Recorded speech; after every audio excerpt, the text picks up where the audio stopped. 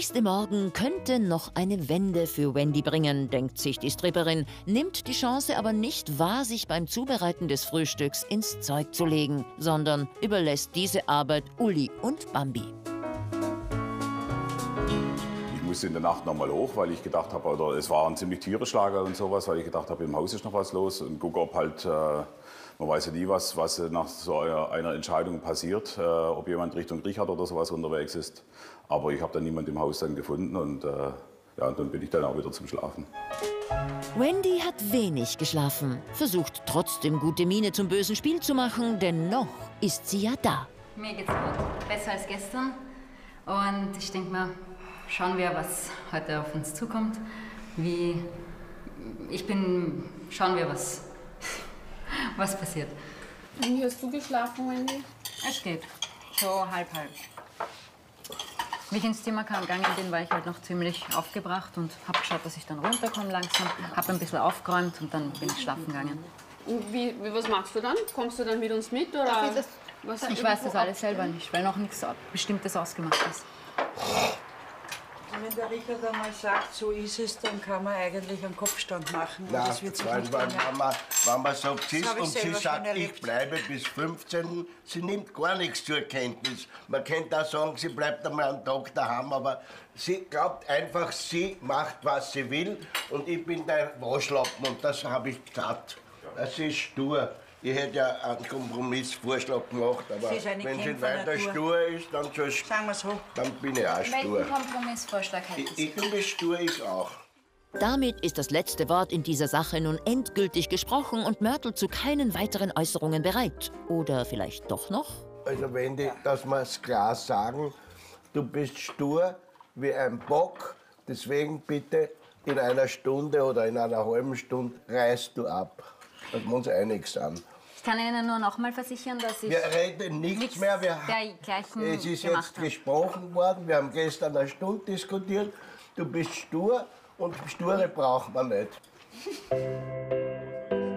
Jede Hoffnung, die Kurve doch noch zu kratzen, ist dahin. Und Wendy macht sich aus dem Staub. Nein, es ist zwecklos und mich ärgert es natürlich, aber soll nichts Schlimmeres passieren. Ich fliege halt nach Hause und ich freue mich auf die beruflichen Projekte, die in der nächsten Zeit kommen. Es ist entschieden. Wendy packt ihre Sachen und verlässt traurig die Finca.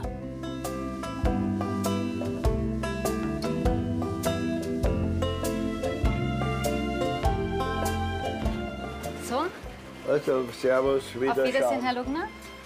Ciao. Mörtel wird die Stripperin nicht besonders vermissen, obwohl sich Wendy mit den anderen ganz gut verstanden hat. Trotzdem fällt die Verabschiedung überraschend kühl aus.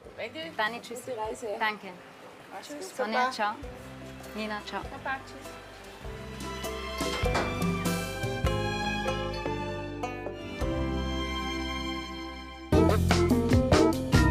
Nach einer intensiven Streitphase trennen sich die Wege in der Gruppe. Wendy verlässt schweren Herzens die Finca und sogar wenig später die Insel, während die restliche Gruppe zu ihrem nächsten Ziel aufbricht. Lugner zögert nicht, die heimische Presse über das Vorgefallene zu informieren. Sie hat bereits das Haus verlassen und wir fahren jetzt auch unser Programm machen. Für die Gruppe geht das Sightseeing im Landesinneren weiter. Besucht wird heute eine mallorquinische Mandelfarm.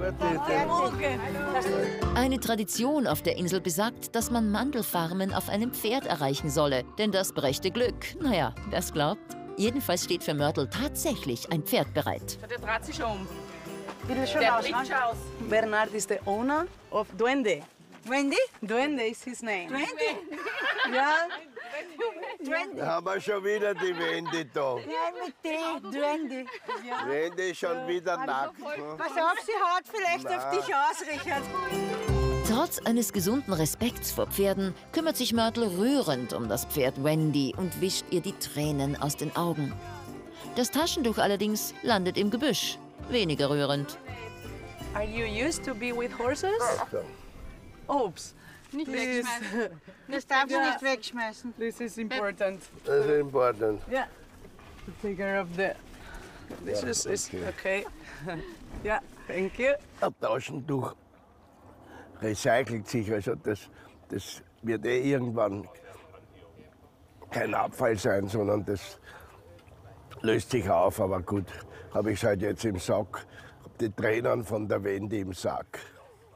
Wohl keiner der Lugner Urlauber hat damit gerechnet, dass Richard so kurz nach dem Rauswurf von Wendy weiterhin auf ihr herumreitet und dabei auch noch eine gute Figur macht.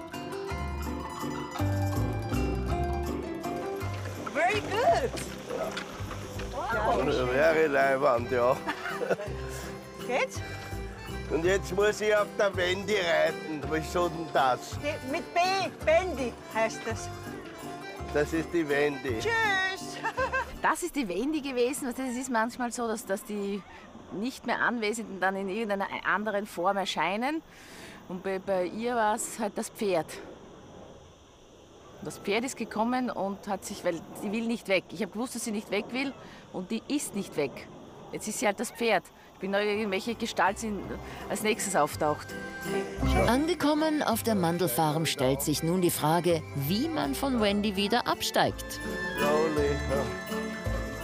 Fangen wir auf. Ja, ich weiß schon, hängen aber. Und wenn Lugner zuvor Reiteleganz bewies, so bleibt der Abstieg leider etwas mangelhaft in den Haltungsnoten. Wunderbar. ich bin kein guter Reiter. Perfekt gemacht. Ich bin falsch ausgestiegen. Ich hatte ihn runtergehoben wie ein Müllsack, weil ich, ich hätte so in den linken Steigbügel bleiben und drüber steigen. Aber sonst kann man den anderen Fuß nicht heben, wenn man nicht im Steigbügel bleibt. Habe ich falsch gemacht. So habe ich mir halt wie einen Mehlsack heruntergeladen vom Pferd. Apropos Sack. Mörtel und die Damen staunen nicht schlecht, als Wendy nach ein paar dankenden Streicheleinheiten überraschenderweise Lugner die Stange hinhält. Sonja, schau, was da rausgefahren ist. Ja, ich, ich, jeder. Schau her, jetzt hat er die gesehen. Schau her, was er jetzt hat. Lauter Streich. Ja, Ja, ja, wir haben ihm am Kopf gestreichelt. Und, ja, eh. Und, ich hab, und wie sie gesagt Er haben, sieht das, deine Melonen und schaut er das, was er macht. Ich glaube, das ist ein Schwuler. das ist ein Hengst. Na, servus.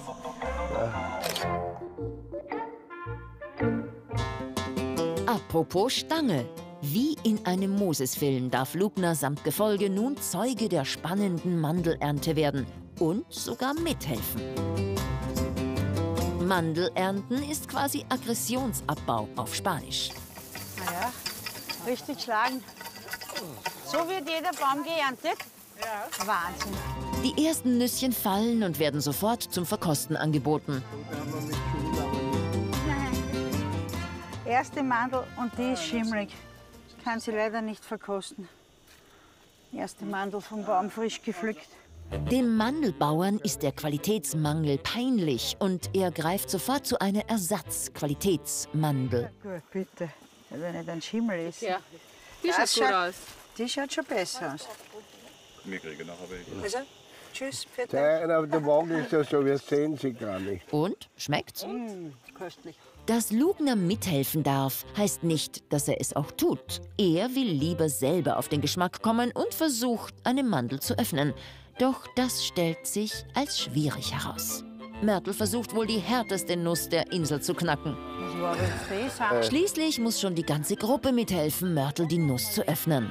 Ich glaube, Zimmer, die ist kaputt, aber er hat die noch einmal eine Schale. Ja, Eine innere. ja, die ist ja. schön, die kannst du haben. Ham, ham, hast du gesagt. Ham, ham machen. Mandeloperation erfolgreich.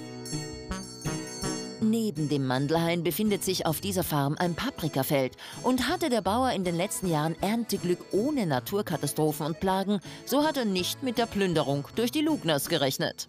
Wie viel werden wir denn brauchen fürs Frühstück? Sind die alte Mein Hamsterin? Lieb, du bist lieb. Also, Ich tue immer hamstern. Man weiß ja nie, ob Not kommt. Nach den Mandeln und dem Paprika müssen jetzt auch noch die Hühner dran glauben, denn auch Eier können die Lugners sehr gut gebrauchen. Mit einer von Uli angeführten Mädchentruppe wird nun der Hühnerstall überfallen. Toll, was es hier alles gibt. magst du vorausgehen? Geh so voraus. Der jetzt irgendwas geplant. Na, irgendwas ist da. Nach rechts, nach rechts. Schau, wie viele Eier. Wo? Da, mein Gott, süß. Aber fühlen uns eh nicht, wenn wir uns da die Eier einfach rausnehmen. Warte, setzt uns so hin und mit der Hand. Holen wir die Eier. Warte mal. Ich gehe so zurück. Schau mal. Ei, sind die süß. Die schauen, Das ist ja schauen das- aus wie das Plastik. Plastik? Das sind echte echten. Eier. Ja? Na. ja? Doch? Klar?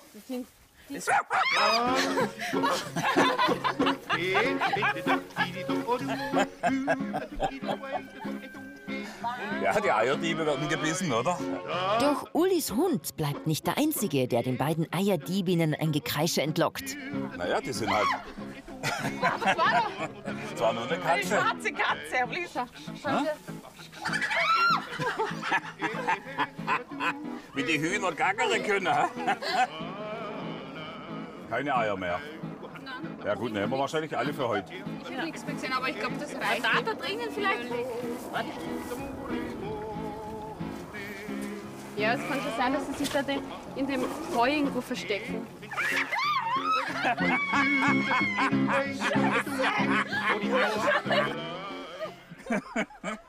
Also, Das ist kein gefährlicher, wenn man in die Augen fliegt. Das ist ja Wahnsinn. also wenn jetzt alle jetzt kennen, dann kommen jetzt haben die Hühner lang genug aufgescheucht. Bei den zwei war ich mir ja sicher, die waren ja nie in einem Hühnerstall, noch dass sie irgendwie mal einen Huhn in Natur wahrscheinlich richtig gesehen haben zu leben. Äh, für das war das natürlich dann schon mal ein schönes Erlebnis. Meine Großmutter hat Hühner gehabt. Und da kann, an das kann ich mich erinnern, die hat immer den, den, Kopf, den Kopf abgehackt von den Hühnern und die sind ohne Kopf herumgelaufen. Das weiß ich noch. Zurück zu den Mandeln. Die werden jetzt verarbeitet und zu einer Süßspeise verschiert. Und nach den vielen Gaumenfreuden will sich diese Mörtel natürlich auch nicht entgehen lassen. Da haben wir. Was da morgen wieder in der Zeitung steht. Das ist aber super, Herr. Schmeckt lecker, gell? Ja? Wie Vanillekipferl. Holt immer noch eine Hand. Noch eine Hand? Ja. Der Bauer freut sich, dass seine gezuckerten Mandeln so gut ankommen. Ja, nam, nam, nam, ich da nam. geben oder ist wieder aus der Hand? Okay, ist wieder aus der Hand. Da, Wände würde ich nicht aus der Hand Das essen. ist es nicht aus der Hand.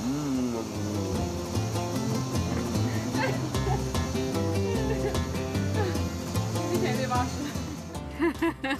ja, ohne zu zögern hat er mir gleich aus der Hand gegessen. Und sind die Hände jetzt ein bisschen pickig? Naja. ja,